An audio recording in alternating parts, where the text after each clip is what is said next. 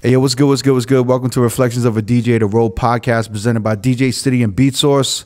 I am one of your hosts, DJ Crooked. We got DJ Neva here. Yo, what up? We got DJ D Miles. What up? We got Jaime the Great. Yeah. And uh, look, man, I was in Seattle for the for the first time in a long time last year, and uh, yo, shot the Phenom from Portland uh, in Chicago. Yeah. hit me up. He said, "Yo, you got to hit this one person up in Seattle." And uh, I went to his party. It was called Haute Sauce. It was on Saturday at Q nightclub, and uh, you know, extended the most hospitable treatment I've ever gotten in Seattle. It was it was a great party. your feet, yeah. yeah, it was a great party. It was a vibe. It was dope shit. And um, I'm actually really happy to have him here. He's in here in Las Vegas. We got Seattle's finest. Swervewon, what up, fam? What up, man? What up, Thank- man? Good, man. Thanks for having me, man. Nah, nah, it was good, man. It's Yo, a blessing th- to be here, man. Oh, It's a blessing for you to be here, bro.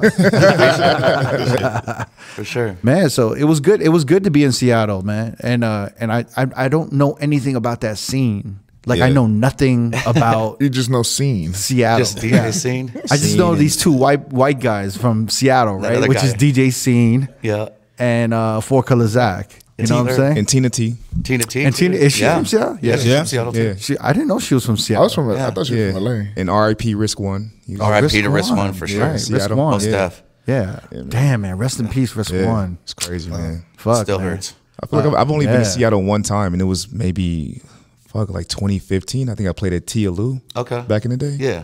And I was only in for one night. It was Thanksgiving weekend. I didn't even get a chance Oh, to see the city. Shit. Yeah. Yeah. Tia Lou's used to pop though. It was the it was the Oh, spot, yeah. right? It was like Yeah. the hip hop spot. Like a lot of athletes would go there. Definitely. Yeah. Yeah. I was, Yeah, what is the Seattle scene like? What what, what was it like? It, is there because you're not really from? You're like you grew I up in mean, Alaska, right? Yeah, so I was born in What- what- born in Alaska, but I in grew up in Montana. But I moved to Seattle in 05. in 05. So, So- how old, like around what age were you when you moved to uh, Seattle? So I was 30. 30. Yeah, in So wait, wait. So what's your background though? So my dad was Dominican and Yeah. my mom is Norwegian and like Alaska native Aleut. wow. So, So you were like Dominican in Alaska. How the fuck did Basically- Dominicans get up there? So- that's a real question. my you don't- dad was a Was was, there a a Dominican- military guy. Okay, okay, okay. Yeah. And so that's how my my mom and my dad met. And uh, there's a lot of there's a couple more, you know, Dominicans up in Anchorage too. That's where I was Are born there? is in Anchorage, but it was all, you know, military based kind of shit, you know, but that was you know, I was born in the 70s, so it's like I think once I don't know if the base is still there, but I think after like the base kind of mellowed out a little bit, you know, there was like less, you know, people that were stationed and based in Anchorage. Wow. Yeah. So wait, wait. So you obviously grew up with hip hop and shit. like, Absolutely. and you love. I know you love boom bap hip hop. You know Oh, what I'm yeah. saying? Yeah. Oh, you Oh, love yeah. that. Like, what was that experience like in Alaska though? So- like, you must have gotten the records like four years later, right? Well, okay, so we got to rewind a little bit. they got like Low End Theory in like 2000. yeah, yeah. I mean, I mean, Not 10 Alaska, years later. Alaska was up on game a little bit. Were it's they? just, you know, it's a little bit desolate. But the, to clear the story a little bit here, Yeah. like I moved uh, to Montana when I was two. Okay. So I basically grew up in Montana in a city called Billings. Okay, Shout okay. out to my homie DJ Benefit, by the way. That's my, my my guy in Billings. So you literally you went from Alaska Mm-hmm. to Montana Yep. to Seattle. Yep. Where there's like no Dom- you wanted to be the only Dominican Dominican. in these states, these states, right? Well, I mean, Like an artifact shit. Yeah, I mean, You- I, wait, I, I want- always wanted want to to rep stand that out. for sure. Do you speak Definitely stand Spanish? out. Do you speak Spanish? No, No, I'm you a, don't? I am a sellout. I'm a sellout, but I still rep the culture for sure. I shouldn't say it like that. It's just uh, I just never learned Spanish. My, Yeah. my my girl knows Spanish, so Boo Yeah. just keeps me keeps me laced when we go to. And yeah, and you were just Mexico, moving yeah. from you moved from Alaska to Montana because because your dad he was like he had to he had to be So somewhere. my mom, my mom and my grandmother, we moved to Montana because my aunt was going to college in Montana. So like basically, it was kind of like a family move, and yeah. So wait, w- so was your when your dad when you were growing up was was he around and stuff? No, I didn't even know my dad. Till So I was gonna 22. ask really. Oh, he's real Dominican. Yeah. oh my god. Sorry. Damn, I can say that. Damn, I'm, I'm Latin. I'm Latin. Wait, so where's your dad from though originally? So he was born in um, Santo Domingo. Santo Domingo. Uh, Dominican Because I was going to ask you if you grew up around, you know, if you. So I didn't really some- have like that influence. Right. Don't laugh at me, guys. But like No, no, the first no. touch of that, I would have to say, was the Beatnuts. in the 90s. Oh, wow. That it was just like, okay, because growing up in Montana, I didn't really know that I was Dominican, you know, obviously until, you know, I was mm-hmm. later on in life. So it was like kind of being labeled, you know, as black and like identifying as that, as such. That's funny. So yeah, we, we were just growing up in small town USA. Yeah. We were just so we got those records late, Yeah. by the way, but it was just in Montana. But we were just talking about like you know like I mean everyone's so like aware now. Mm-hmm. Like, There's Dominican, they know Puerto Rican, they know Cuban, Colombians, they know all of the shit. 100%. But like back in the 80s and 70s, it was like in New York, it was either Puerto Rican, Yeah. Or black, Black. Mhm. right, Yeah. or white, a Jewish, right, Yeah. and uh, like there was no other Chinese, there was no And then Asian the, races. the Asians was Chinese. Everyone Yeah. was Chinese, Yeah, right? uh-huh. God Yeah. damn. So even if you grew up in New York, you would have been Puerto Rican. You know Oh, what I'm saying? 100%. But then when you're in Montana, you just black. You have Absolutely. to be. You have to be crazy. You have to be characterized. The you know? shade. It's like when we were talking about with Spider Tech growing up in Compton, right? Yeah. It's like there's no Dominicans in, Compton in, really. In, in Compton, LA, for the most part, it's either you black or you Mexican. There's no in between. so you kind of got to know mean? pick and choose Yeah. who you gonna run with, right? it's, It's like someone you like Spider Tech that looks exactly like me, same you know, Yeah. same skin tone. Mm-hmm. He probably had to identify with the blacks. Yeah. because he, you know what I mean. So But he grew up like- around Mexicans. yeah, So he's more Mexican. It's than basically like back in the day was like prison, right? Yeah. When you Yeah. went anywhere, Yeah. you had to just to identify who, who do I look like the most. Yeah. Because I would have had to join like the Chinese mafia or some shit, even though I'm Korean, right? You'd be in the triads. He's like, yo, like I'm going deep in his like family. He's like, I didn't want to talk about all this shit. I wasn't ready. Like, yo, my father wasn't around. I don't want to. I don't want to talk about this. Sorry, sir. No, So it's wait- not anything like that. So when Mon- Montana, Mm-hmm. what was like? What was? I, I'm just so curious. These are like these places are so foreign to me, Yes, all of us. and I, I'm wondering like what. What, Like you know, what made you fall in love with him? I want to know what was like. Oh, how was I it, could tell you that Was it easy. easy to get records? Especially boom bap hip hop. Yeah. No, like definitely. So like, fun fun fact. I don't know what made me think of this like prior to coming to this interview, but I did. But like the first records that I ever bought were like, you know, Van Halen 1984 and like Eddie Grant Electric Avenue and like. Mm-hmm. I think it was like Rick Springfield, like Jessie's Girl. Like we didn't have like hip hop. Like the first hip hop record I remember, and I think the record store was called like Hot Wax or something like that. But it was uh, Kurtis Blow the Breaks.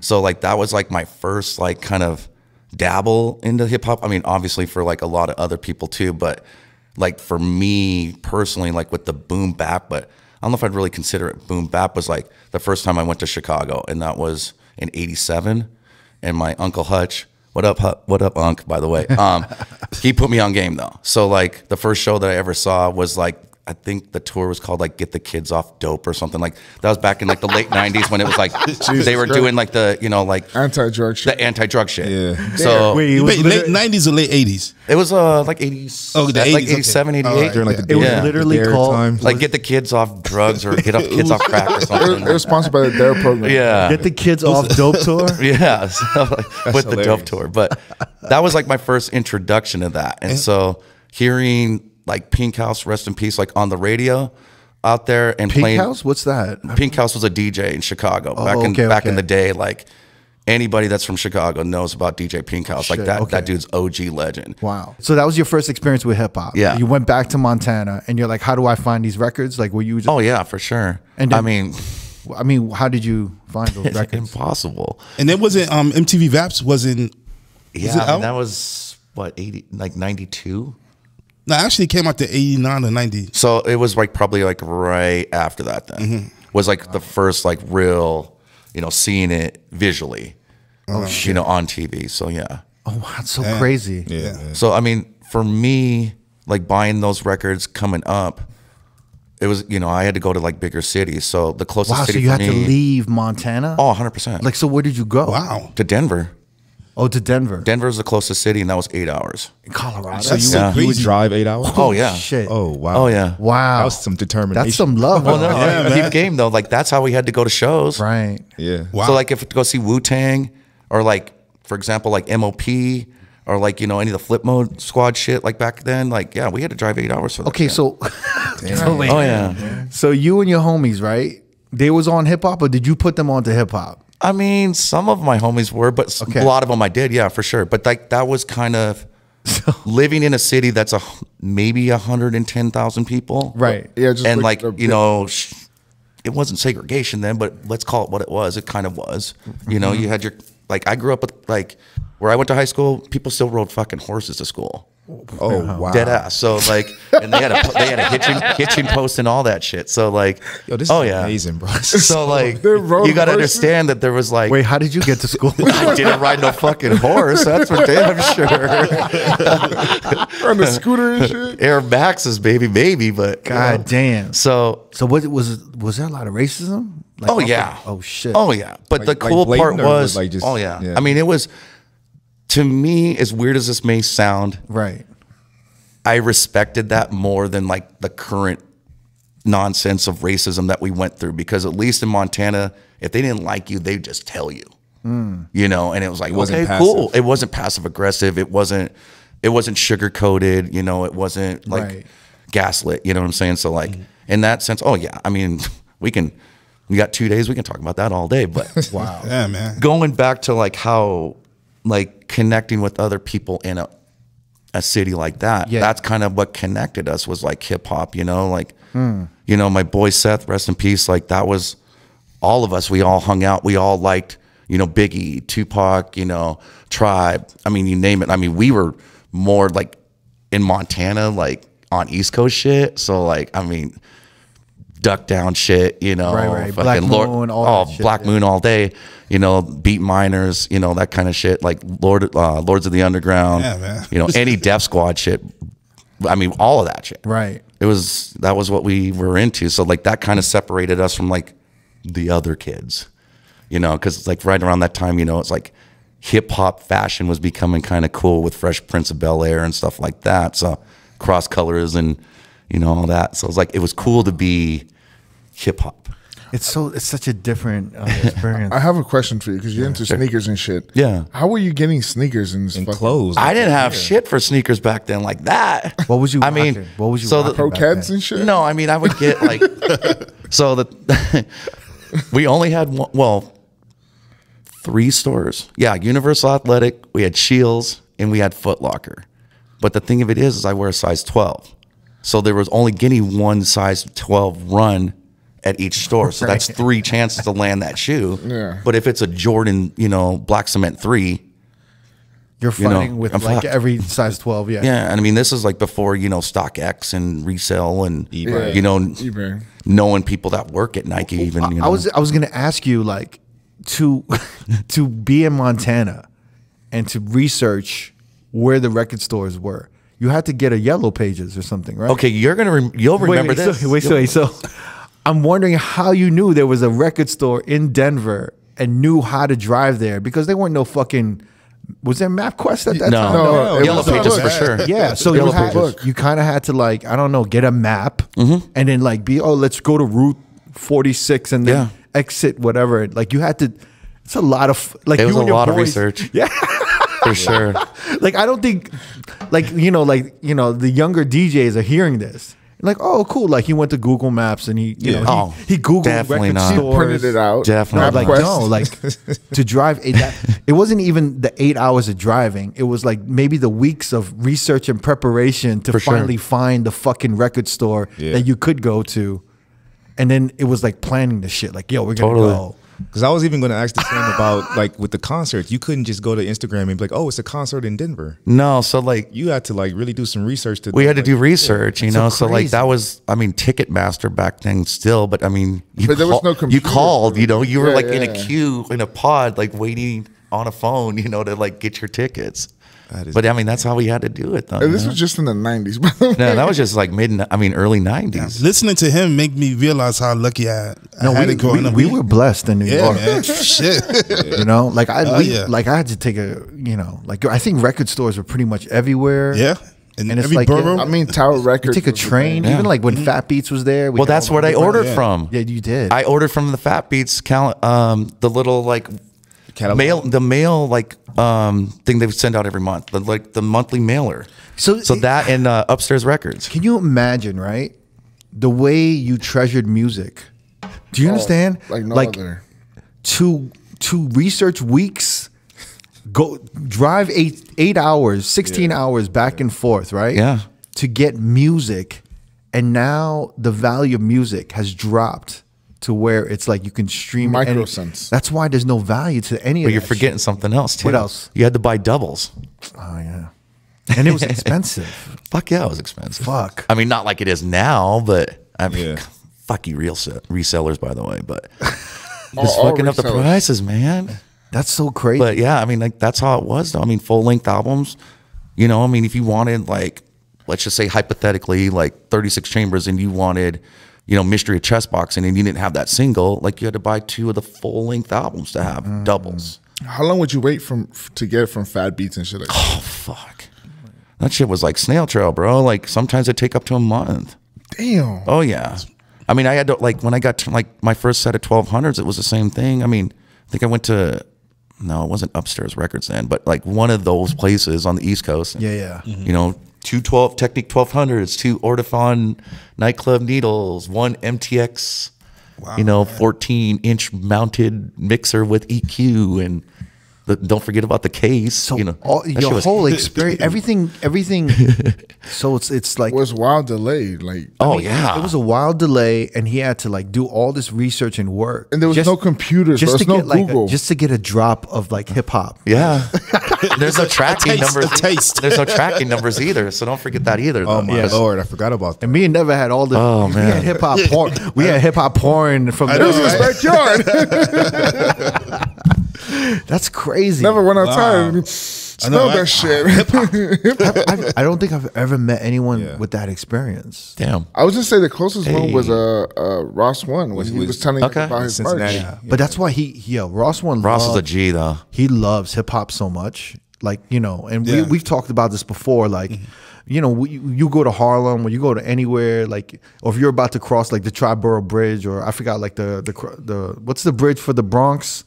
Uptown, um, on, I I know, I know. Anyway, there, there would always be these motherfuckers, like, usually it's African motherfuckers, right? Selling like the bootleg. bootleg Biggie- mixtapes. The tapes, no. yeah, the albums. mixtapes and the T-shirts. They just Yeah. have all these bootleg T-shirts, Uh-huh. and like if you lived in Manhattan or New York, you never wanted to wear that shit. It was like you felt like it was like garbage. It was whack, but now it's like worth. Yeah, so a like, and- but like, Yeah. so when like when like years ago, like twenty years ago, when I was like fifteen years ago, I met Ross and he's collecting this shit. I'm like, yo, why the fuck you collecting?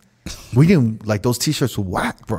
we used to laugh at people wearing them. Yeah, shirts. motherfuckers used to come to school in that. Like, yo, you must be bro. Those are like three dollar T-shirts. Yeah, it, it, it was like that in LA too. If you had the if you have Bart and he was black, like that was the the ghetto. Oh, that was from dope though. Though. That was The Black Bart was dope, but we was getting yeah. that from the, we was getting that from the The Sloss and Swami. Swami. Yeah, from Yeah. Swami. yeah, Wait, so Black Bart was whack? yeah. He had the dreads, Yeah, bro. because people were laughing, but like, yo, your Bart is not. and he had like the little African medallion. Yeah. They Yeah. saw- I remember that. Yeah, I with remember like the X clad, the X clad. or the Bugs Bunny with the with the Taz, and they're both holding. Oh my god, you're oh. taking me back, yo. When Yeah. they when they dress like crisscross? yeah, Yeah. yeah, yeah, yeah. Back to back. Yo, Everybody you- had yeah. that hoodie. Do you remember when Button Your Fly button was like a dope T-shirt? Remember that? It was like the Levi's, like Oh, button- I remember that. But Oh, yeah, button- yeah. like that was like a whole kind of campaign, wasn't it? Yeah, it was like Yeah. button fly. Remember, it was like button flies. Yeah. and that was the shit. And we are like, yo, man. Instead of the zipper, you had the button. But then there was Yeah. like the T-shirts that had like button fly on it, and it was like kind of dope. Am I? Yeah. Maybe I'm alone here. I don't know. I don't remember that. One. I barely. That was some Harlem shit, That was Manhattan, man. I don't know. It was like a, we was cool with the with the crisscross, Big Buns, Bugs Bunny. man. That was. That's I had a question. So was it like looked down upon to listen to hip hop in in like your high mean- school or middle school? You know what I mean? Or was it just like you just had your group of friends and y'all just kind of like kept to yourselves and listened to it? I would say it was kind of more like, yeah, I mean, it was kind of like a footloose kind of situation, you know, like you weren't hmm. like listening to like, I mean, because even like the records like, you know, Return of the Mack and shit like that, you know, was like hot records in the mid 90s, like mm-hmm. when I was in high school. Like you weren't, we weren't hearing those songs at the high school dances. The radio station was Like, and the radio station was, I mean, Was there a was a station, but it was non-existent. what were you they? It was- playing? What were they playing out there? I mean, it was just like, achy breaky heart? definitely that kind of, I mean, it was you know, it was country stations. I mean, yeah. and I think barely remember because I mean, I feel like once I left in 05, it started kind of changing more down. Uh, as much as I hate the term So wait- urban, They didn't have R and B or like a hip hop station no, Wow. until the 2000s, mid probably yeah. And I can't even say that for crazy. sure, so don't quote me on that. Wow, man. In case somebody from Billings comes for my head on that. So you never They're heard like, yo, I was on college radio. Yo, I did, yeah, for sure, for sure. Because I mean, I guess I did a college radio show when I lived in in Montana because I went to um to a tech college and got my degree in radio and TV. Wow. So I did run like an AM station, and that was a lot of fun because I mean I was definitely It's like you're living. I I didn't obey the FCC rules. I'll just say that. Yeah, yeah, yeah. I mean, I was playing unedited. well, were you were you able to contact the labels and get the music? No, no. I wish I didn't have it like that though. The problem was He didn't like give I a didn't shit about your Yeah, Montana the radio. Montana radio. I wouldn't say that. I think it's On the just the, station. resource. It was the resources too, though. Oh, I mean, if I had I known someone, you know, to say, you know, hey, this is how you do things, like it might have been different. Right, but like, right. you know, when you're kind of like Oh, the you didn't lone wolf know- trying to figure it out, You didn't even Did know you, that was did you try at least to like hit up the record labels? The not at all. in the back of the CD. because I it wasn't. He didn't even know it was an option. I didn't know it was right? an Yeah. option, and like, I mean, there's a certain delivery to it. You know what I mean, though, and I think like. To be fair, I was probably like more like the hungry, like teen, you know, Right, teenage kid that's just like, I really like your music, you know, send it to me for free. You know what I mean? Kind of like, Did you know about Stretch and Bobbito or no? Yes. Did yeah. So like I was getting so like probably around ninety five. I moved to South Carolina for a summer because my boy that I went to high school with he graduated and had a place down in Myrtle Beach. My boy Pablo. So like that's when I started getting like the taste of like the Ron G's and like the DJ Clue mixtapes and like Nice. that whole mixtape game was insane because Yeah. it was like. You know how the how the fuck do you find these records? Mm-hmm. Because I mean, like so many of those records were just like white label shit. You find out later on, though. But that's what made it cool, you know. Because like to me, I love those mixtapes because every DJ did something different, mm-hmm. you know, and it was like a different theme. Like you know, Clue was fucking with Jadakiss or something, and like you know, Funk Flex was doing this with Fabolous or whatever, you know, and it was like these guys were just. I mean, I don't know. It's just to me the the freestyles and shit were so dope. Like Yeah, yeah, yeah. over the over the beats that we knew. I mean, Little Wayne, you know, changed obviously with his shit, but Yeah. I think that's where it was inspired, you know. Mm. So I mean, that's where, yeah, you know, just getting like the formula of like how the game kind of works, you know, and like realizing, okay, like this is probably how they're getting it. But I didn't know that trick until later on. Wow. for sure. So you were you, and then so you started DJing in Montana. Mm-hmm. And what were you, were throwing Not just in my parties? basement. No, it was just in No. my basement. There was just nowhere. There was nowhere to just for go. myself. There was nothing. Yeah. Wow. So, so then, I mean, it wasn't. so that's why you wanted to move to Seattle, though, right? Well, yeah. I mean, but then why? other But, then too, why? but- But then why Seattle? Like, you know, So for Seattle, because I thought you were in Alaska, Yeah. right? And I was like, well, Seattle's pretty close. That's Totally. like the closest major city, right? so for me, Seattle. I mean, it was. Because you could have gone to Denver, maybe, right? Well, I lived in Denver for You did. eight months, nine months. It was just, it was not a good time, good, good time in my life because it was the first time we left home. It was like the struggle, You know, so it was just like, oh shit, we could buy booze on Colorado Boulevard. This is tight. Yeah. we're 18. you know, so like we just we wild out. You know, and like, I, I mean, not saying that it stopped. You know, probably, but I'm just saying like at that point, it was just like, eh, I'm not really feeling this. You know, like we're we're doing some shit we shouldn't have been doing. I'll just leave it at that. so.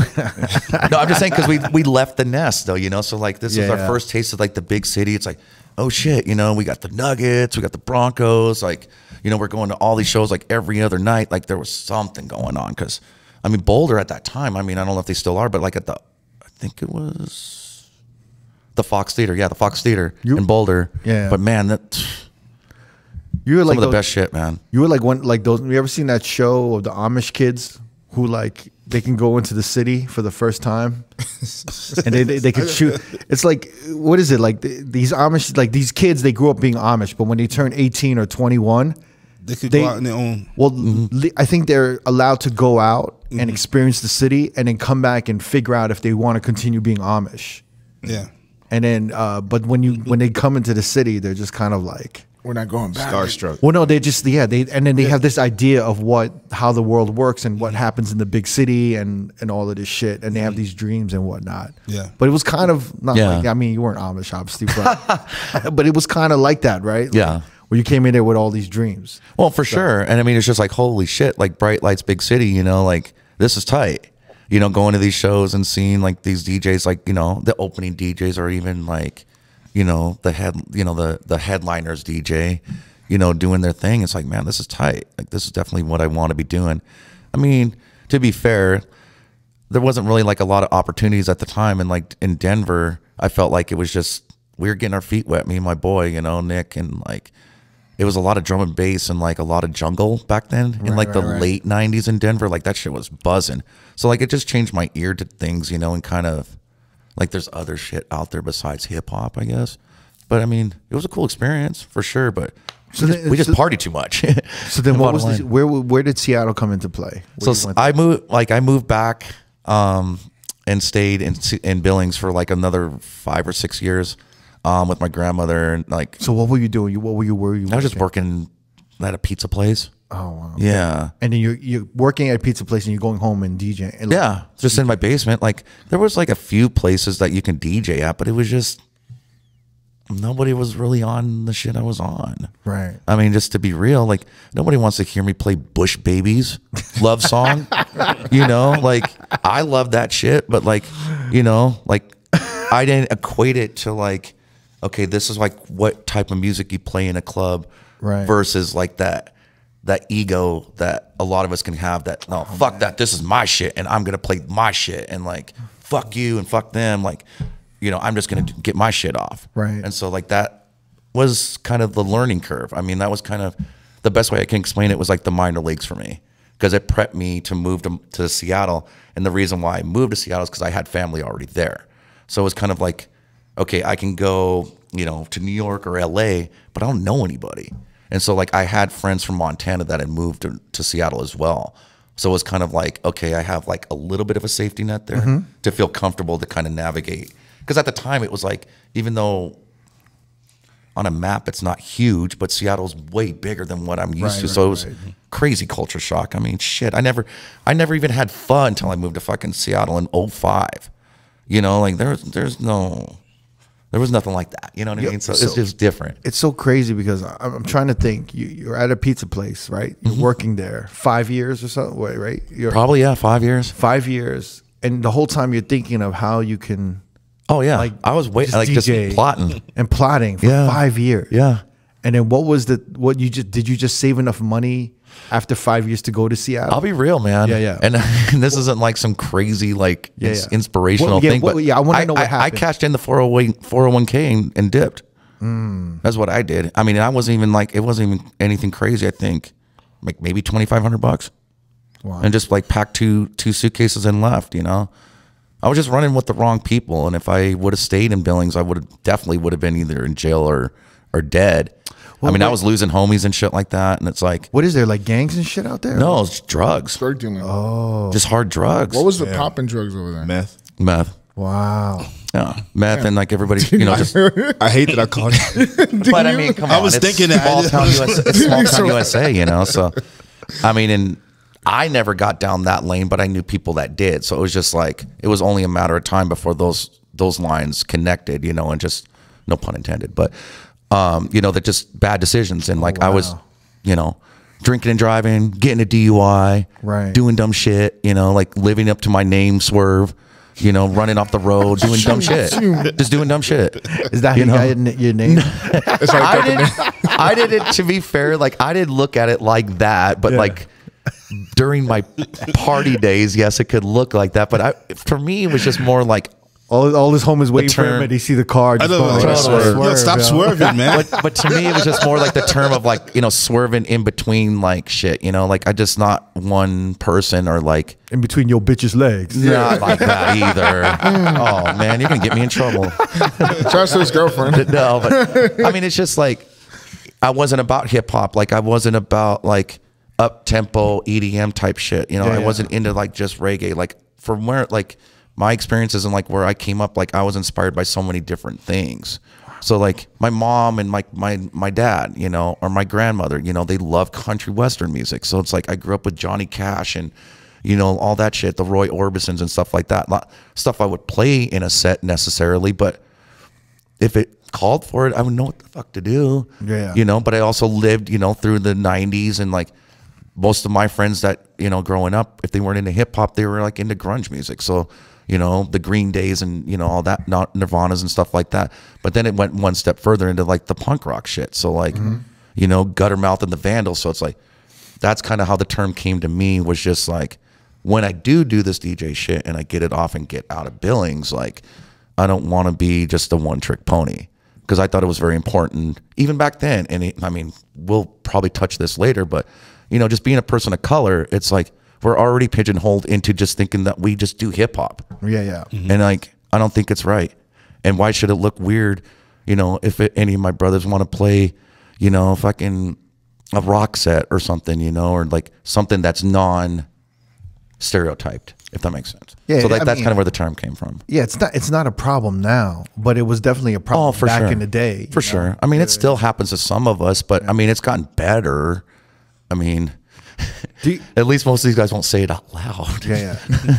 Dude, do you have like a do you have like a kind of like I don't know moments in the past that kind of still haunt you now with like you know discrimination and judgment and stereotypes and shit? Oh, for sure. 'Cause I, like I sometimes I you know I'll talk with Neva, Mm-hmm. and I feel like sometimes he still holds on to some of like the stereotypes that carried on in the in the eighties or you know just growing up, right? Sometimes like Of course, man. yeah. Yeah. It's mm-hmm. just like, you know what I'm saying? And when you speak to motherfuckers now, they're just like they, they have no They recollection of that like that even happening or Yeah, or even- what it was. Even even just like you telling about hip hop and having and the and the importance of music at that time, especially in a city like where you in. Yeah. It means so much. Oh, right? absolutely. It's like an escape. It's Thousand like percent. Saved my fucking life. yeah, it's it's almost percent. it's almost like a you're listening to the music and it's giving you like a hope that there's something more out there, Definitely. right? Besides Oh, yeah. wh- where you grew up in. Definitely. It's crazy. Oh yeah.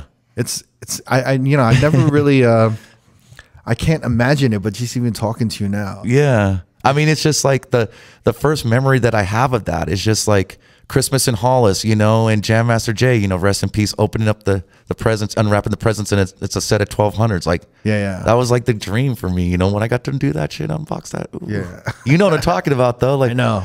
a brand new pair of Technics twelve hundreds. Like, there's nothing like. I didn't get that. I didn't get to, uh, twelve hundred till like out my mid twenties. I couldn't even afford it. I had just to, had save when I first got my equipment, I just had one 1200 and the Gemini. But that's really all you needed, though. Yeah. I mean, really, because even the Gemini's were dope too. I mean, shit. When I started, I was like on Sony like direct belt drives. I, I wonder what is like the broke thing to be DJing on as a young kid nowadays. Nowadays, like Yeah, a two hundred like a controller? controller. it's probably which yeah. even that bad, right? Which yeah, The SB3. yeah, which I use all the time when I'm Yeah. traveling. When I Well, do there's yeah, because there's like shit. those little mini ones too. Yeah, Yeah, looks like that looks like a connect MIDI controller. i- the iPhone connections Yeah. and all that. Yeah, That's I haven't be seen it. people on those too. That's like the entry level. Yeah, I'm thinking if I had like a nephew or a son. Yeah. And they're like, man, I'm tired of this broke ass controller. I'd be like, yo, you understand? Like, I had belt Yeah, drive. totally.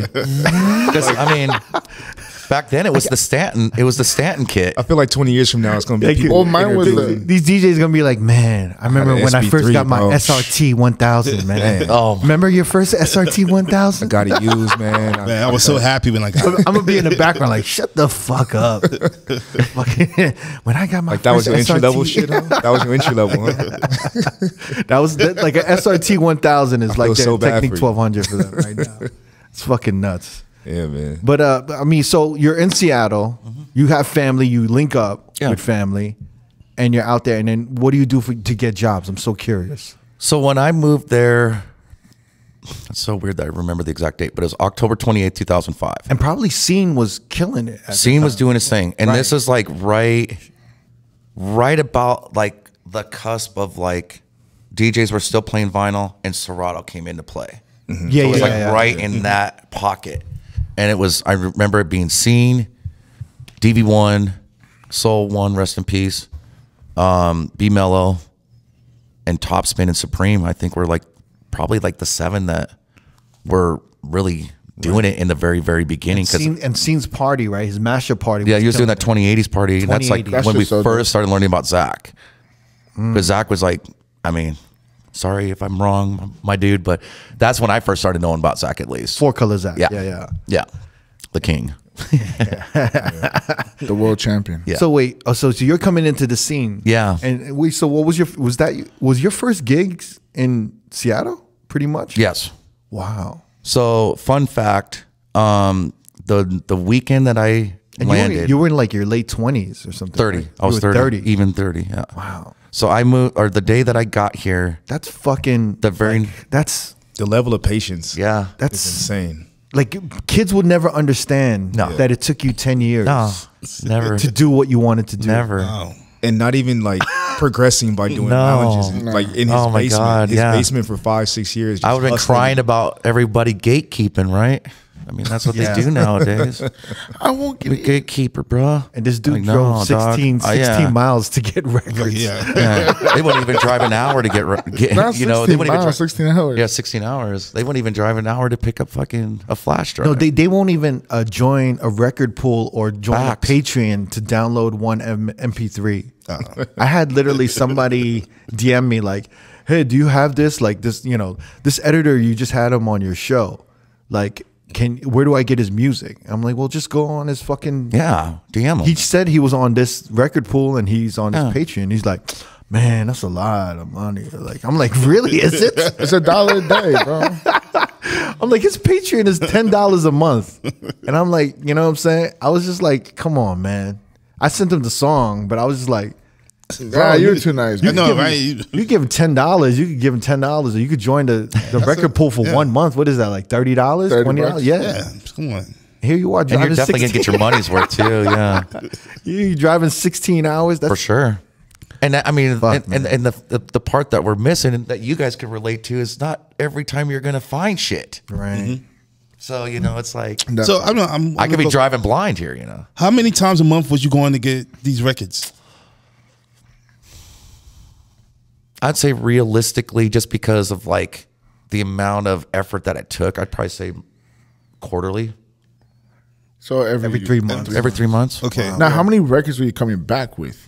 Did you have like I'm gonna wait? I mean, I hundred was dollars on just I was saving money, but I mean, minimum probably a couple hundred bucks max. I think like the one time I Yeah, yeah. went ham sandwich at Wax Trax in Colorado, I think it was like probably you know it was at least a G. Oh wow. I mean, because I was fighting dope shit though, yo. Like I found like I still have it to this day. Thank God, somebody like robbed me, but I got it back. Don't even ask how. But the Diamond D and Diamond shop. D and uh, the Psychotic Neurotics, um, all instrumental album on white label I don't even know what that From the first album? from the first album. album? Yeah, really? Stunts, blunts, and hip hop. Yeah. Oh shit. So like, I mean, I was I was getting cool. You know, like to me, like shit that's near and dear to my heart. You know, like I still have all those records. I'm not selling my records. I mean, my dad wants me to come get him out of the garage, but I'm still like pleading with him to like, oh, he finally showed up. Sorry. not that dad, oh, the real dad. So it's like it took you ten years to do what you wanted, pretty much. And like, Yeah. and then uh, when you look back, I would now- say probably longer. yeah, right. Well, because I mean, it started out like in high school, like it's just kind of like a, I want to say like a passion thing, but I mean, we were into it, but you know, it was Jazzy Jeff and the Fresh Prince type shit. You know, we listened to like DJ Magic Mike, you know, so it was like hella influenced by that kind of stuff. Like we all wanted to be like scratch DJs, but we all sucked. you know, when you we had a Radio Shack mixer, like you can't buy a mixer in Billings, so we were like on a Radio Shack mixer Yeah, like when you look back on it now, you just said like hip hop, like hip hop saved your life for sure. because you would have still you still would have been in Montana. Oh. I would have been complacent just, you know, because I mean, no diss to my friends back home, but I mean, it's just a simpler life. Right. And I've always been just, like I said, the big city kid, you know, that wants, you know, I want to hang out with pro ball players and shit, you know, like I want that big shit. And like most of my friends, you know, like live that typical storyline of, you know, you meet your high school, you know, sweetheart, you guys get married, you have four kids, you, you buy a house on a plot of land and you live there for the rest of your life. You might have a summer home at the lake and, you know, you go skiing in the winter. Right, right. And people are cool with that. There's nothing wrong with that. Shit, sometimes I wish it was that simple, but Wow. I'm just, you know, oh, some different shit, I guess. But So wait, how, how did you sound in your first gigs in Seattle? Oh man, the first gig I had in Seattle, I opened for Kool Keith and Tash from the Oh, that seems Alkaholiks. that seems aligned though. That seems aligned with what. you're yeah, doing, right? and so it was it was interesting because I'm playing vinyl, you know, and like Do you remember how you landed that gig? so short story version because we can go on for a while on Right. that. But when I first moved to Seattle, one of the first shows that I went to um, was Dilated Peoples and Little Brother. Wow.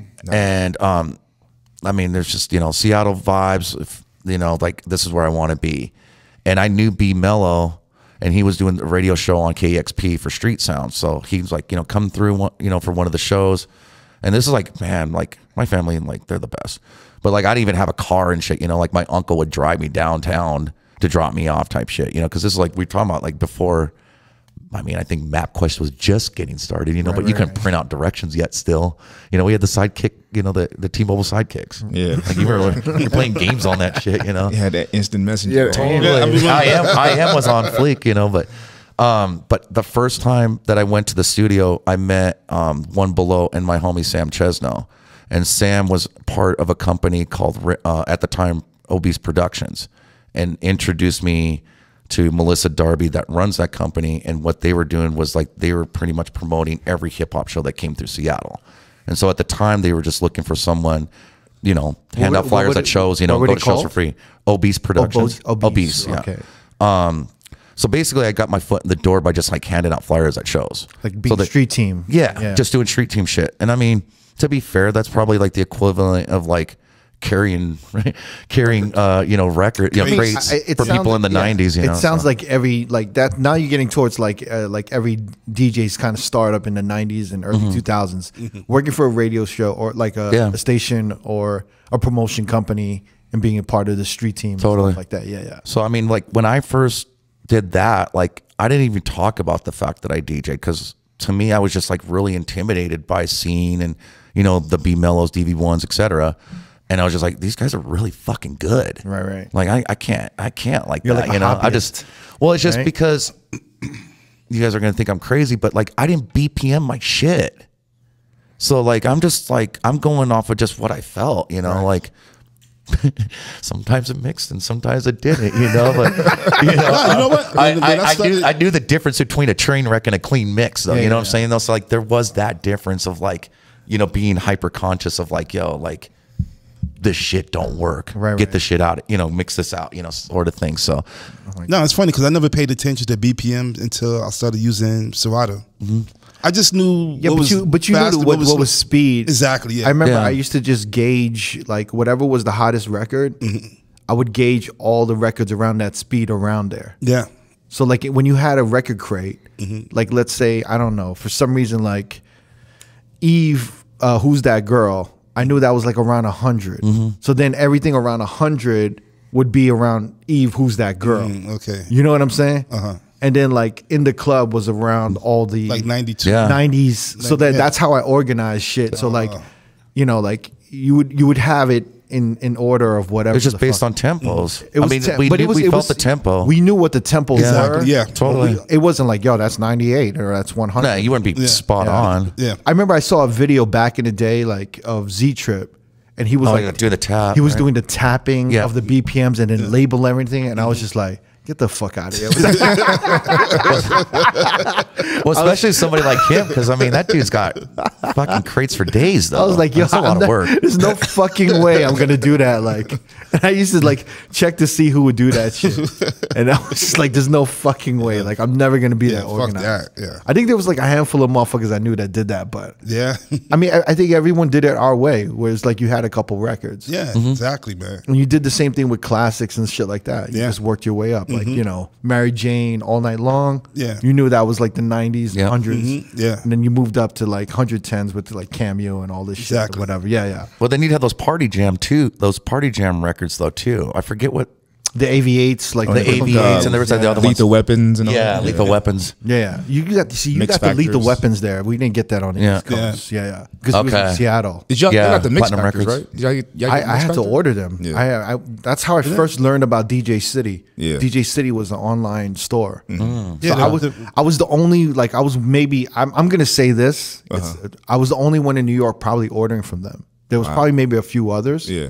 But I was spending a lot of money with them, especially during uh yeah because I would I would play all those Lethal Weapons mixed factors, and I would, I would everyone would be like, "Where'd you get that? Yeah. Holy shit, where'd you get that?" Yeah, because those were like redrums and shit before redrums were cool. And they had like an Yeah. intro. I remember there was like a, a Justin Timberlake like uh, "Rock Your Body," and it had like you know this intro.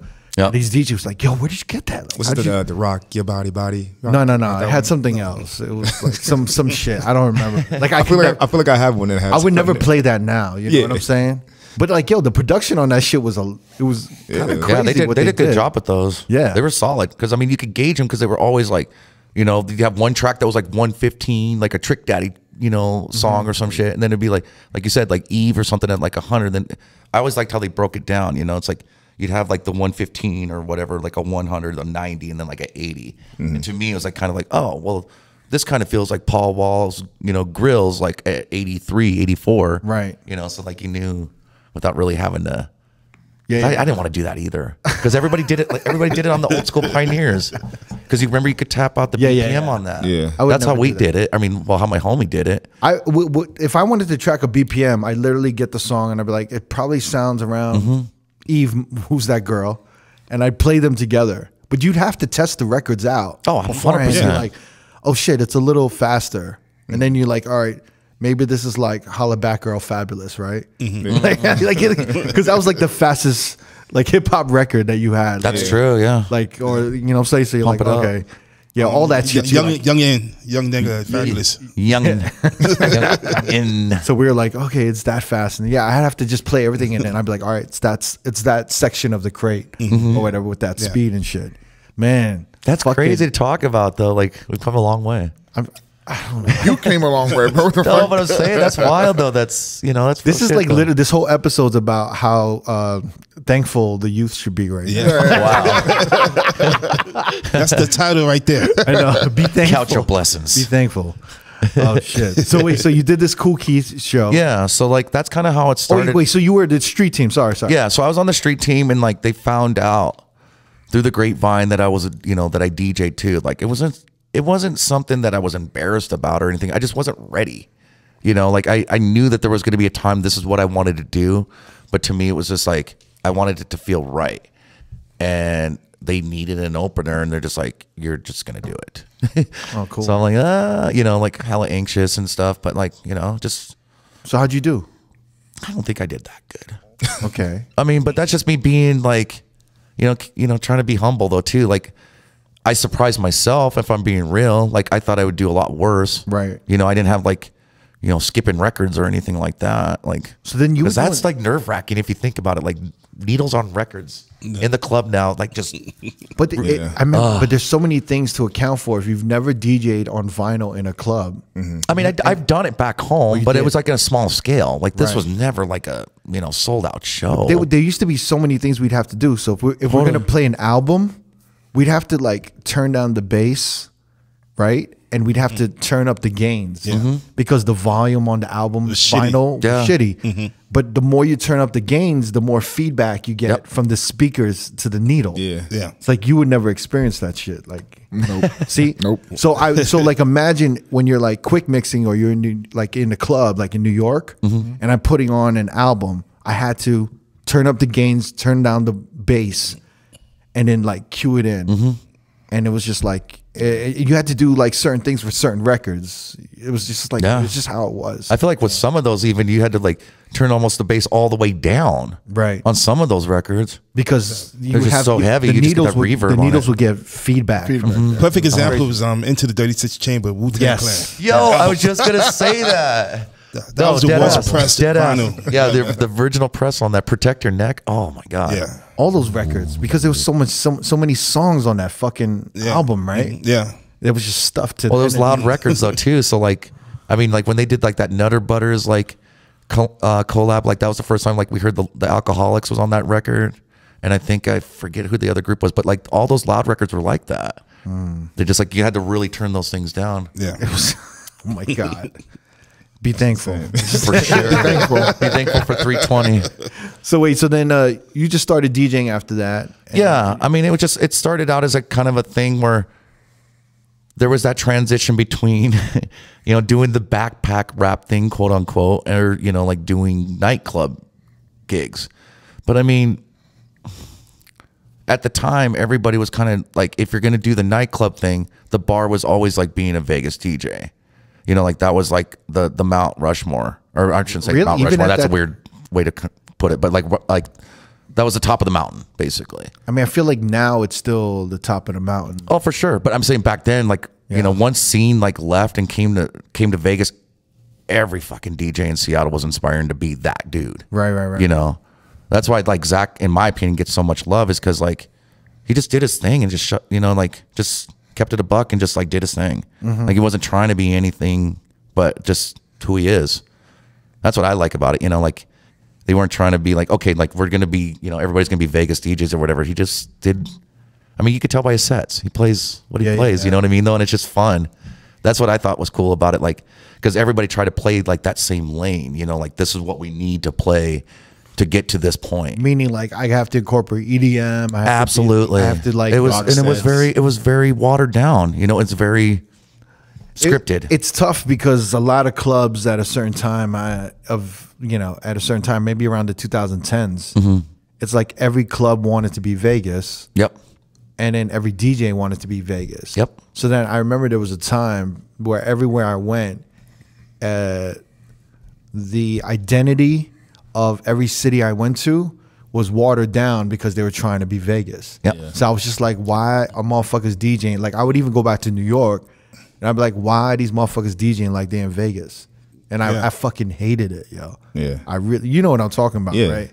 And it's just like it was the it was the fucking worst. People have been messaging me like a lot, DMing me. They're like, you know, like, you know, now that you left SKAM, like, are you are you gonna are you able to work in Vegas anymore? Because you know, my dream is to, you know, be a Vegas DJ. But like, if there's if you're not on SKAM and if SKAM's not the answer anymore, like, how do I get to Yeah. Vegas? Mm-hmm. And I'm just like, yo, like, you know, there's if you if you che- if you understand what's going on in Vegas right now, there's a ton of motherfuckers who aren't on SKAM, mm-hmm. who are in Vegas, mm-hmm. and it's like a lot of them aren't even part of an agency. A lot of them are just doing their own shit, and like I, I just kept telling these motherfuckers like, you know, don't worry about, don't let like something like coming to Vegas be like a significant moment in your DJ Totally. career. You know what I'm saying? Like for me, I'm just like, yo, that's that's just, you know what I'm saying? Just like work on your shit and like be a For better sure. DJ. And I think it's more important for you to build a name and build like a style. Yeah. Agreed. Like you, you come to Vegas and you're like, yo, I'm, I'm over here and I'm, I'm doing this club, I'm this club. And if I hear you and I'm like, you sound like, you sound like this dude. Yeah. You know what I'm saying? Like, I mean, I'm sure that happens a lot with you guys though Right. too, where you guys are getting fucking train spotted night day. You Well, know, no, on your I- I just- you know people are just poaching just- songs and shit, or I- trying to sound like you guys. I just think people come here and they have an idea of what a Vegas DJ sounds like, Mm-hmm. and they're doing their imitation of that. that makes sense. Do you understand? Whereas, Yeah. like you said, Four Color Zack did his own thing, Just different. built yeah. his own style, for sure. And somehow It made it fun too. Yeah, making it You know? fun, being himself. Totally. And now he's doing his style in Vegas, which is basically never. Yeah. And which is me, where like I literally still have my New York style. Yeah. and I'm still doing me. And like Vegas e- kind of either conforms to me or I slightly conform to Vegas. You know what I'm saying? It's Mm-hmm. Yeah. like a mutual conformity, a compromise. Totally. Yeah. Even with Zack, it's like, you know, it's a compromise where he's like, his style is, is fitting in and he's making adjustments and the club's making adjustments or whatever the fuck. For sure. But it's, for me, it's just like, a, you can't come here and just think like, yo, I'm gonna have all these. I I have these Vegas gigs. I've made it, and then when I hear you, I'm like, yo, you don't have a style though. You literally No, for sound like this motherfucker and that motherfucker, Yeah. and in two years, you might not be around. You know what I'm saying? Like, Oh, for sure. Yeah, because there was a period where, and you probably would agree, everyone would agree, Vegas was on top of music, like heavy. Like it was like, and then like I started going out of town, and I'm like, damn, like I'm a little behind. Like I don't notice. Like I would go to the East Coast and I'm like, or DC or New Orleans, mm-hmm. and I'm like, damn, I really don't know what they're playing. Because they went through a period where they kind of wanted to sound like Vegas, and then it became cool to just sound like your own town again. Mm-hmm. And so I would go hear these other DJs in different cities, and I'd be like, oh, okay. So it's not all about Vegas no more. You know what I mean? it's funny. It's like every gig I have, and I don't know if you guys have the same thing. It's very specific. It's not like I could DJ this way here and DJ this way the same way here. Yeah. I literally have to. Yeah. Right. It's like yeah. every fucking room is different, and sometimes I get frustrated because I'm like, I'm doing one room and they're like, this is more EDM, a little hip hop, like no Latin. Mm-hmm. And then this one is like more hip hop and Latin, no EDM. Yeah. And then it's just like another one, and I'm I'm just like, oh man, like I have to like know all of this shit. I have to know so much shit. Oh, this is more R and B, and like you know what I'm saying like A little bit of reggae. little bit of yeah, you know what I'm saying? It's just like it's all over the place. Yeah. And then, and then when it's one of those things where I hate and like, oh, you could just do whatever you want here. I'm like, really? Can I just do whatever? You know? Yeah. Can I just do whatever I There, want? there are limitations to that, whatever, for sure. like you sure about that motherfucker? Like I could just go there and do whatever I want. You know what I'm saying? And then I go there and they're just doing like you know high energy Vegas hip hop type of room, and I'm like, oh okay, like I'll I'll, conf- I'll do this for you guys or whatever. But um, I mean, yeah, I mean, I don't know where we got into this tangent before. I just got to stop you real quick and ask you guys this though. You guys play gigs down here that say you can't play Latin music? I mean, there's certain cities. That's wild. No, not in Vegas. Oh, I thought you meant in Vegas. I was like, what? no, Okay. but like uh, there's certain cities that I will go. to Interesting. Wow. Where Okay. there's like, yeah, you know, like not too much Latin, a little bit, like not, a little bit of hip hop. Okay. Yeah. Any- I mean, I guess I just look at it like it's kind of like the the fluffer for hip hop sometimes, in, in in terms of like you can kind of like soften the mood of the room by playing a hard ass hip hop record like Million Dollars Worth of Game by 2 Chainz into like you know some Bad Bunny, and you kind of loosen the mood of the room. Though that's Right, I guess why I look at it. I think there's certain cities, right, and it's probably more down south, where okay. I feel like when their clientele becomes like ethnic, it it it kind of um makes the club seem like it's more ghetto. Oh, I know you what you're understand talking what I'm about. saying? I, I know what you're talking about. It's- it's a very- I, I, I know exactly what It's a you're talking very about. old. It's kind of like a dated. I get you. it's a dated perspective, but uh, some of these clubs down south are like that. I, I've seen that in Washington too. Yeah. I won't say the name of the club. Ricky, I'm thinking about you though. I'll just say that. Pa-da-cha. but uh i mean yeah i mean that's i mean th- th- you know that's Yeah. I, I i rarely experienced that That's crazy to me. Yeah. though, I 'cause I, mean, that goes to experienced like the whole appropriation thing. You well, know, there, or there- just- there's like literally a city. I'm not gonna. I'm not gonna say. No, the don't, city, yeah. But it. Uh, you know, I'll just say you bleep it out. Yes. If there's a club and it opens, right? Mm-hmm. The second, like, um, if it opens, like it's usually more. It's like a white clientele that goes in there. oh, for sure. But as soon as like they're known for too much hip hop or too much Latin, then you get more Latin and, and black people coming through, and then it just like then the club's done.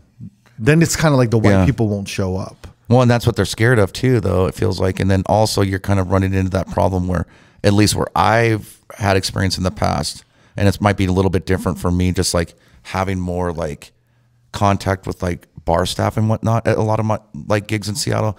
But like you definitely get that, you know, like depending on if it's you know hip hop crowd or a Latin crowd, like you know them just kind of throwing that side shade, like you know, fuck, it's hip hop again tonight, you know, and just like you know what it is, Right. kind of thing. I've had I've had like nights more or less get shut down by like security just saying, you know, don't don't pull up in here like Swerve's playing hip hop tonight. I've had that happen. And it was it was kind of fucked up because it was like they, you know, then literally like two seconds later do like that whole gaslight, oh my God, it's so good to see you. It's like, really?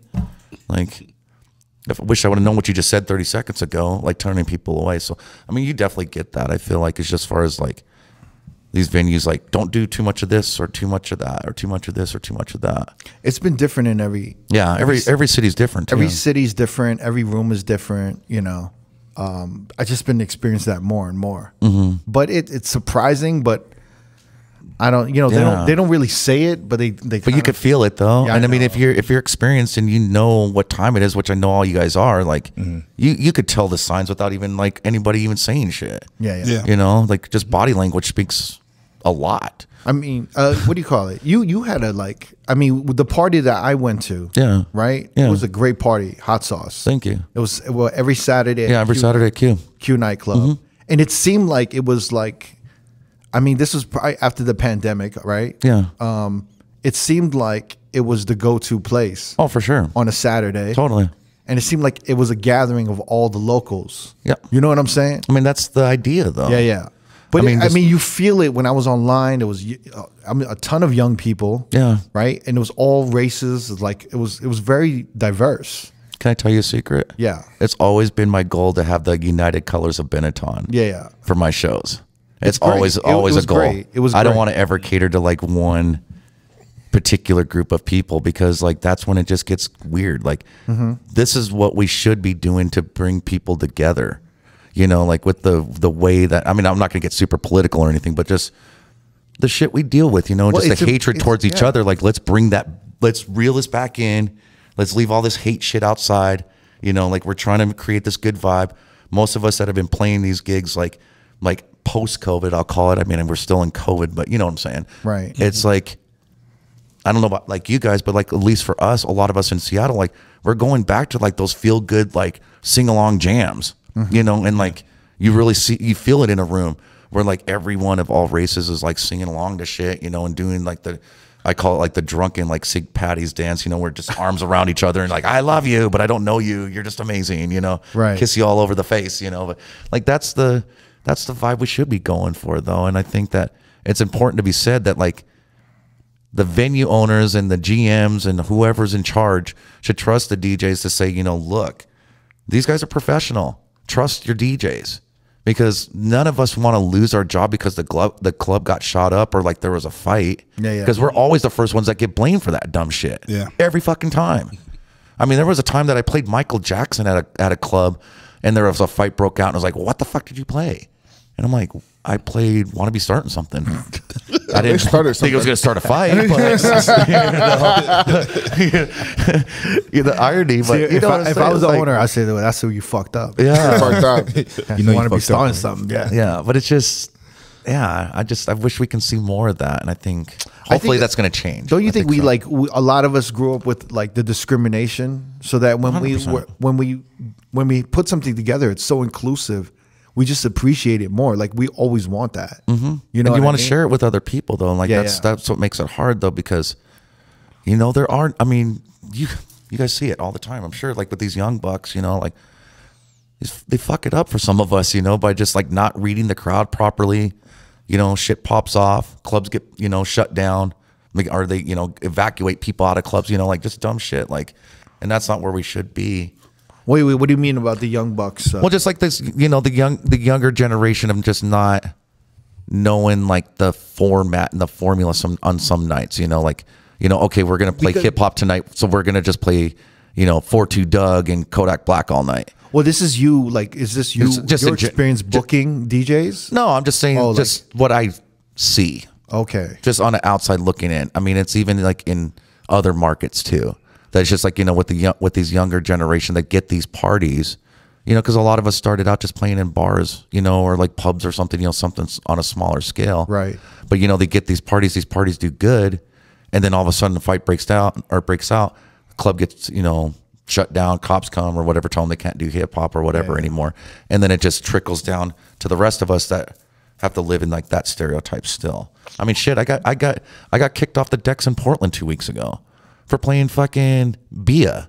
Whole lot of money. Wow. Dead ass. That's crazy. You don't have to bleep that out either. Yeah. just because that guy's a chump. Sorry, you can bleep that out if you want, but I, am not gonna. I'm not gonna be that dude that's gonna What did he to look, filter. at, did he you look know? at that record as like something that would like evoke The violence? slowest Yeah. record of all time. Yeah, and it was literally like in the pandemic, in the size of this room that was probably 200 people.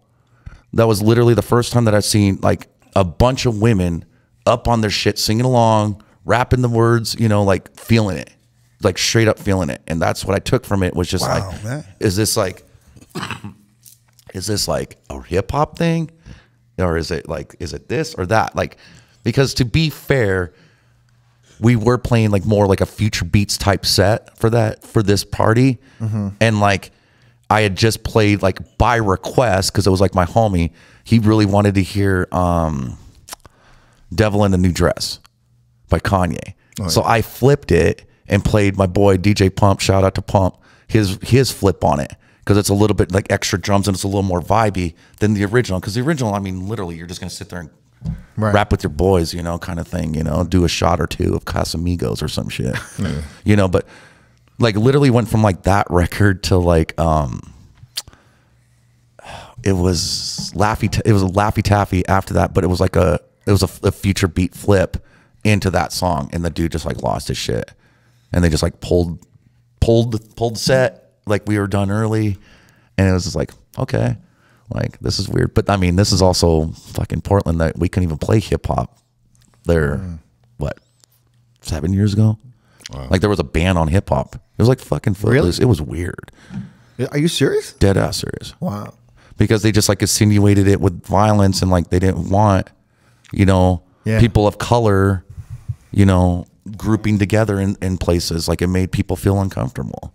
It- It's weird because the new hip hop right now, Mm-hmm. like you're saying, like uh, there's this, like it, it's like we're all trying to play it, but it's It's not- hard to. Yeah, it's hard to play it. And it's my guilty pleasure. I love that shit. I know. For the gang and all that shit, I love that shit. But you can't, because you know what's going to happen when we do. There's though, you know? specific So- rooms that you can like. You can't just hit a- hit a top forty room or a pop Totally. room and play Maybach, which is a huge record. Yeah. it has to mm-hmm. be in a specific room where that room that song's going to work. Well, like there's been a conversation on Twitter, right, of just like you know, uh, Pushin P, right? How mm-hmm. that's mm-hmm. the biggest hip hop song right now. yeah, Yeah. and it doesn't work. Right. So even I don't know how people play that record. I mean, so peop- mellow. Yeah, people are saying like that's the biggest record. nothing. Yeah, everyone's requesting it. Even when I was in that city, Yeah. the, the white people were requesting it, and I'm like, ah, I can't play it. Like, there's no fucking way I'm playing. it. Yeah. I ended up playing it towards the end of the night, but I probably won't be back at that venue. By the way, Oh, whoops. it's kind of like funny because like I DJ'd the way I DJ'd the night. The first hour, I did everything they wanted. Like the first hour and 15 minutes, I did everything they wanted, and then there were some DJ homies there, and they were. Yeah, I you was gotta just like, stun out, and I just was like having some fun. So I was like, yo, like I just started doing what I wanted, but it was like you know, I, I think it was just like towards the end they were just like. Uh yeah, like the beginning was good. Like the first half was good, Wow. and I was like, oh, okay, yeah, I, I'll take a L on this one, man. You know, The funny thing is, you knew what they meant, but anybody else would have been like, well, "What do you mean by that? Yeah. Please elaborate." no, no. But it's, But it's- for them to say that, it's like, damn. Yeah. But the beginning was good, but Yeah, It's funny. It's funny. There was like some promoter there that works at some other. Uh, he has his own party, and he came up and he was just like, "Dude, you are like."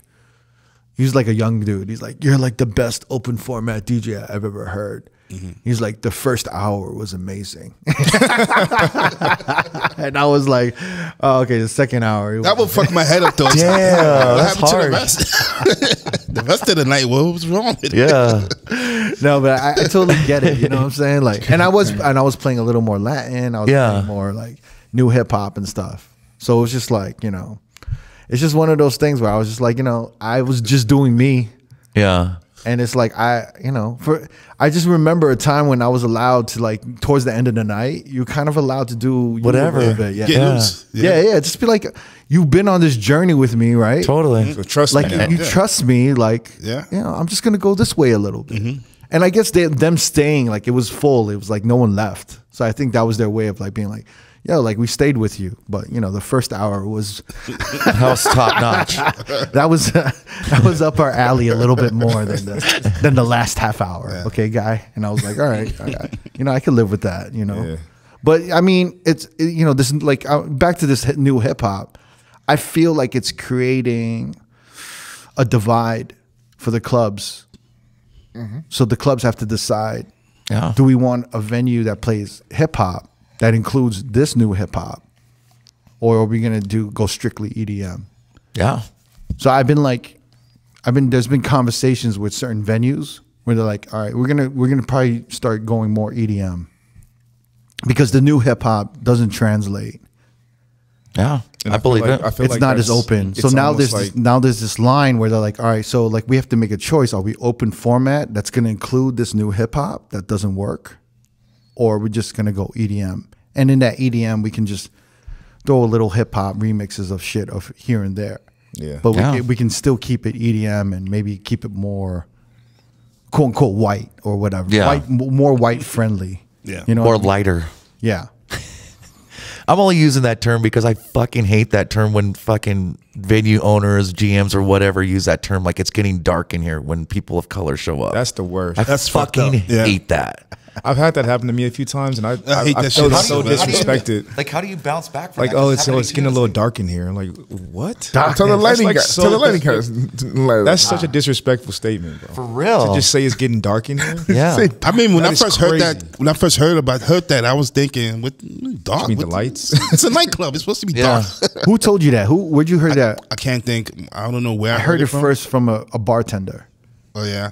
They're like, I heard it hey, first. crowd's a little dark. Mm-hmm. I heard it first from a manager that came You up to me. He was like, "Yo, like, you want to try maybe doing this? It's getting a little dark in here." And I was like, Yeah, I heard it from a manager What? also, but I can't. I don't know which manager. I manager. had to like sit on that because I, I didn't know how to respond right away. Like it it, it, it bothered me. That would that would be Like, hard. it, it fucked me up for about ten minutes. I had to like gather regather myself and like get back into my set, but it, it messed me up because I felt I felt like they were blaming me, Because it was getting dark. And then at the same time I'm like, wait, but you're blaming me, but I'm I'm also up. dark. So like That's that's Yeah. crazy That's that they said that to you. yeah, that's what I'm saying. yeah, and Yeah. I felt Like, comfortable how do to you say expect me that. to? How do you expect like- me to respond to that? That's like someone coming up to me and be like, "It's getting a little ching chongy in here."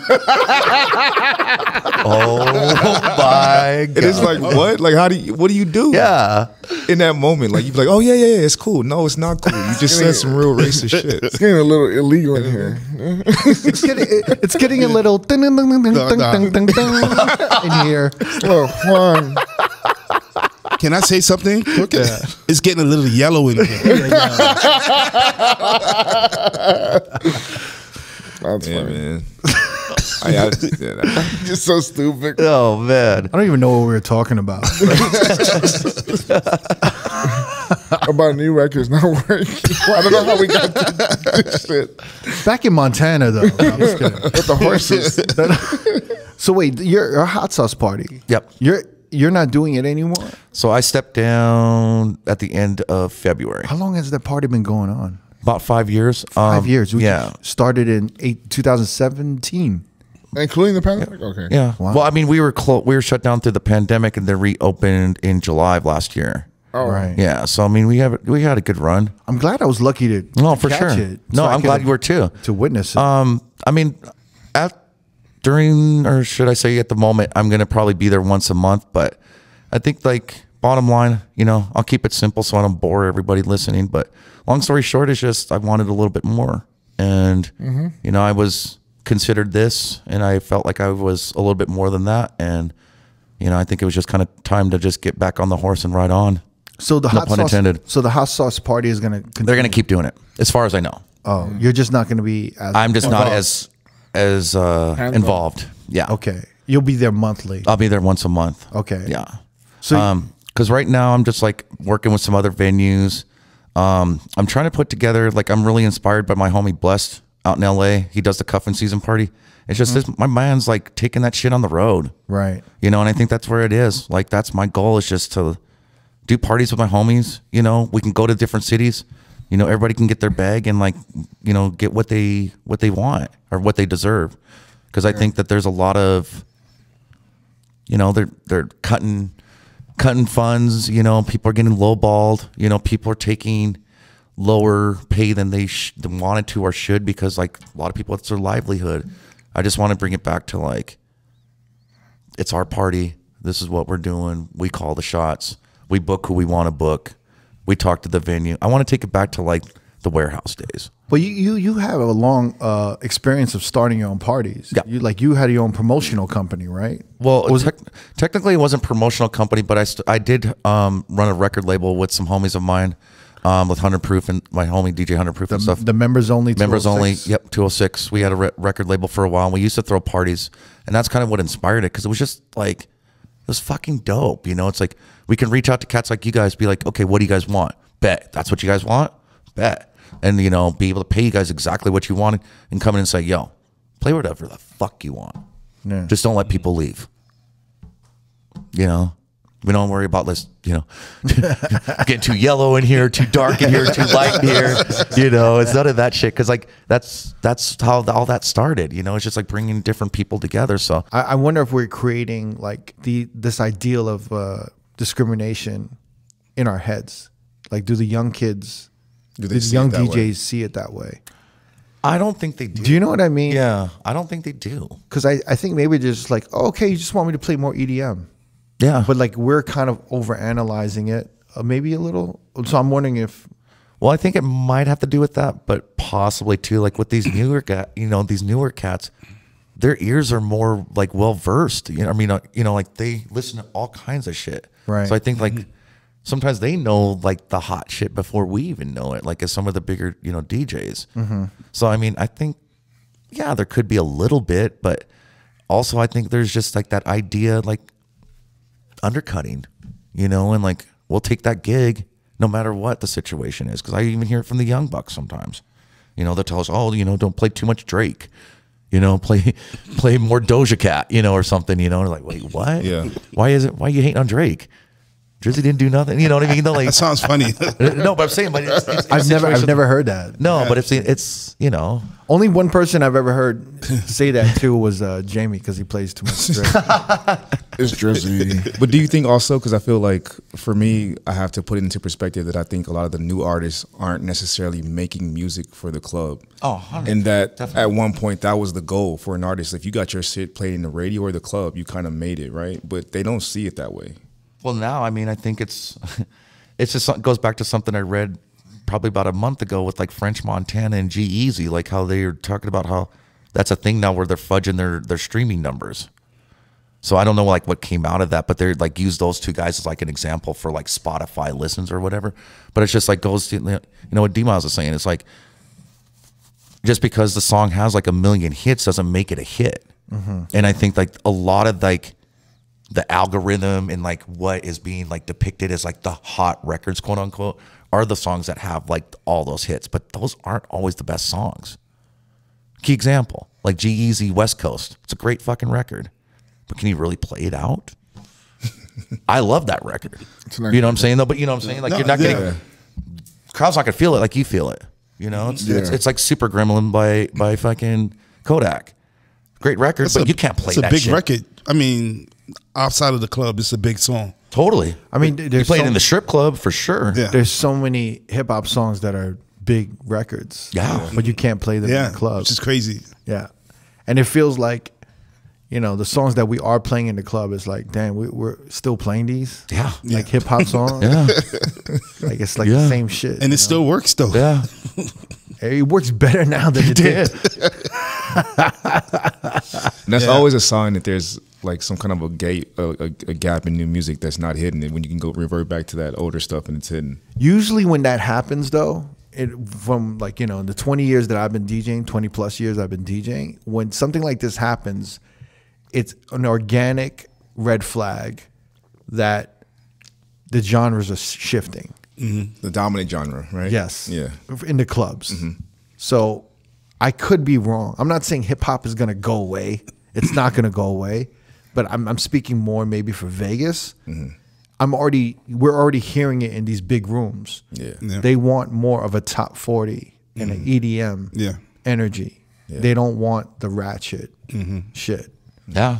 And you're hearing it. And then, you know, I think there's a place for it, like Dre's, you know? 100%. But they're like, you know, we don't want, we want the top. We're either gonna go top forty or EDM. And kind of hearing that Yeah. a little bit more. So I'm, I'm I was already seeing the shift probably last year, and then Now, now, now it's starting to be evident. yeah, it's evident because like every big room is different. It's Like you can play a little bit, and it's like no, like you know, it's like oh, it's all kind of like. It's not definitive yet, but you can see you can For tell sure. like It's the ship is turning Totally. a little bit. You know what I'm saying? So Mm-hmm. I don't know. Uh, I guess we'll see if I'm if we're if my instincts are wrong. I mean, I don't know if you guys agree. No, I, I totally agree with you, man. yeah, yeah, it's going towards that. Yeah. Yeah.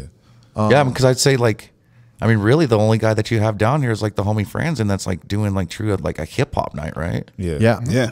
But even I mean, respect to him, be that's honest, crazy. even the last time I heard him, he incorporated a lot more Latin. Okay. Um, he even hit like some some pop, like some Doja Cat, different things. So like even I think even for him, like Okay. he's seeing it not as hard of a room that you. But would he ain't playing on EDM though. Nah, he ain't definitely No, not no, doing no no- EDM. no EDM. But He's he's not going definitely there, playing like Yeah. the big Latin records. You know what I mean? Like the Tebotes, Yeah. obviously, you know what I mean? Those, those Yeah. kind of records. He's hitting those records. You know what I mean? Um, what do you call it? Is there anything we should touch on? good. Really glad we had you on the podcast. Man, thank you so much, man. was fun. This was this was a lot of fun. yeah, yeah. I thank you, really, man. really do appreciate it. I mean, we went a lot of like left and rights and stuff. hey, uh, you know, I mean, that's what makes it fun, though, man. I, I, I, really mean, yeah. enjoy your story, bro. Thank you. Likewise, I man. appreciate Likewise. that. Crazy. Thank you. I, I love it, man. I, Thanks I love, for I love being how much you. inspirational, yeah, you I love how much you sacrifice for hip hop. Yeah, That's man. it's it's what I know, man. because I feel like uh, I feel like hip hop. People see hip hop as like a genre, and it really like when we were growing up, it was a culture. Something you Yeah, live. culture. It was like Yeah. Talk to KRS yeah, One. Yeah, yeah. It He'll tell you, give you the elements. yeah, it was like it, Yeah. it's, it was like a It's it real was shit. a though. lifestyle. It's real shit, though. you know, mm-hmm. like it, that's the way we conduct ourselves as hip hop. Right. You know, it's not it's not a genre for sure. yeah. It's not like you know. I don't. I don't. I don't live reggaeton. You know. I love that shit too. But yeah, I mean, I, feel love you. it, but it's like you know, you know. I mean, wife wifey would want it that way. It's one, yeah. I mean, it's it's one of like the, the genres that's a culture. It was based on a culture, you know, Totally. and there's like a history behind it. But I, I really love what I love what uh, you sacrificed Thanks, man. and where you appreciate where, it. where you where you are and where you're going. oh, we're, go- we're we're we're gonna do big shit, man. yeah. All right, man. Yo, Swervewon. Thank you, man. Thank Thank bro. you. If you want to watch more episodes from Road Podcast, click either links on the left or the right. Don't forget to subscribe to our YouTube page and get updated on new uploads throughout the week. Peace.